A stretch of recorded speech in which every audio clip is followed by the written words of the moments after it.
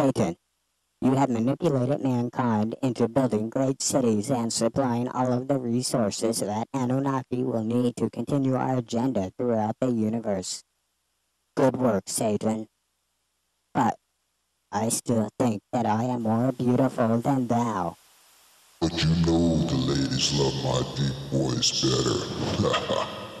oh, you and that voice, I should have never gave it to you in the first place.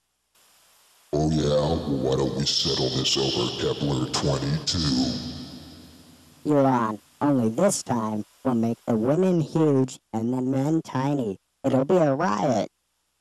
Oh, and could you drop the kids off at Nibiru? Oh, that'll be a lot of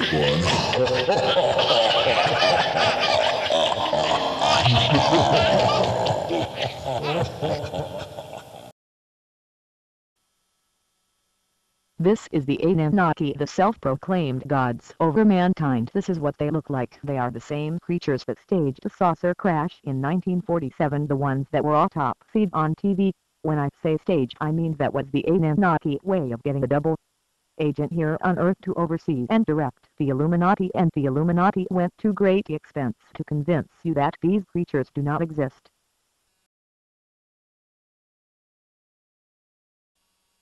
The Anunnaki came to Earth right about here in our evolution and took control of our DNA. We were on our way to becoming an intelligent race with all of the promise and opportunity that the Anunnaki have enjoyed for billions of years. The Anunnaki came with one purpose in mind, how to turn the Earth into a planet that they can inhabit.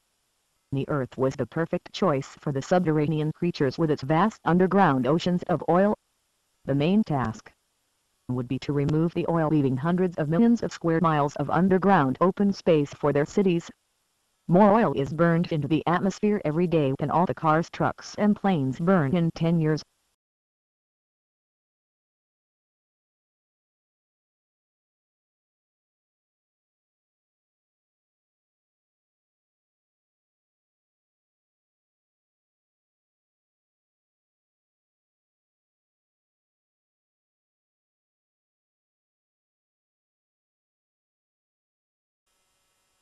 Anunnaki enslaved mankind through DNA manipulation and deception. Deception is perpetrated against all mankind by the Illuminati. The Illuminati is now carrying out thousands of attacks on mankind. Under the instruction of the Anunnaki Satan who is a double agent, serving the Anunnaki. This whole deception was carefully planned out and is going as planned. The Illuminati even after all of their hatred torment and murder of their fellow man, they are innocent. None of us ever stood a chance against the Anunnaki deception and DNA modification.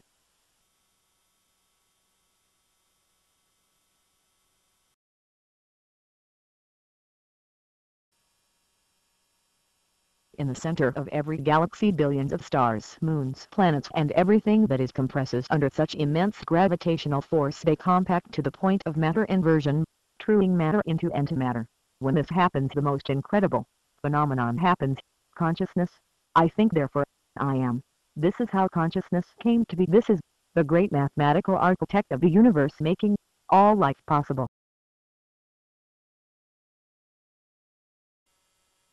The Anunnaki set up all religion as part of the deception. The reason the Anunnaki torment mankind is not because they are evil it is because they want more than our planet and more than our slavery. They also need our dark matter souls. And when the Illuminati tortures and murders the first 4 to 6 billion humans the Anunnaki will be waiting to intercept all of the souls. The Anunnaki use dark matter for many things it is the most powerful substance in the universe it is conscious and it is God, the great mathematical architect of the universe so the Anunnaki use the Earth as a soul trap by conditioning humans through religion to get you to give away God's greatest gift to you your everlasting soul.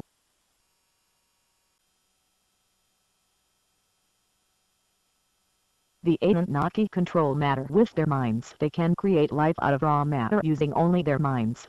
And if they need work done they manipulate life forms to do the work not machines. The Anunnaki thrive on slavery, mankind is nothing more than a domesticated tool to the Anunnaki.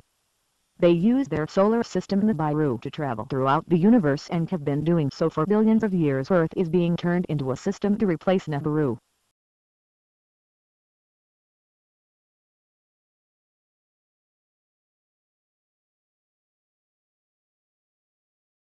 When Earth is completely operational and when the Illuminati has carried out a decimation of the masses, the last prophecy will be fulfilled. The Illuminati will be relocated to Nibiru a dying hell-type planet. And the meat Anunnaki will inherit the Earth.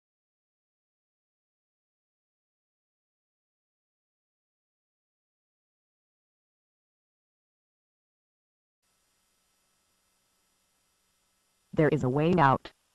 Although the Anunnaki have done this to all of us, they have also given us the Bible. The simplest quote. The truth shall set you free.